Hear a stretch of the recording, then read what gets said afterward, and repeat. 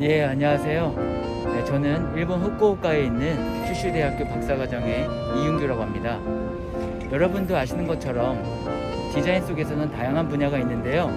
저는 오늘 여러분들에게 유니버설 디자인이 일본 이 후쿠오카에서 어떻게 적용되어 있는지, 적용하고 있는지 여러분들에게 소개하고자 합니다.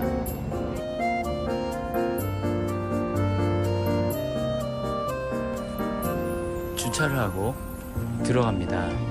이곳은 주차를 하고 들어가는 순간부터 계단이나 경사로가 전혀 없습니다.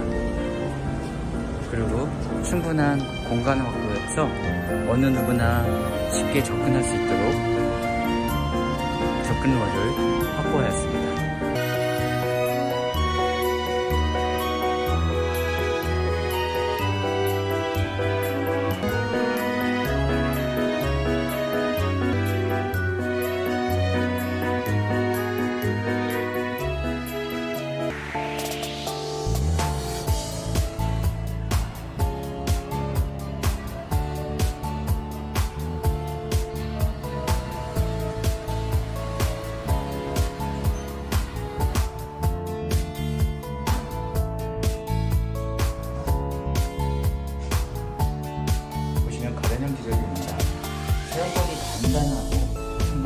있습니다.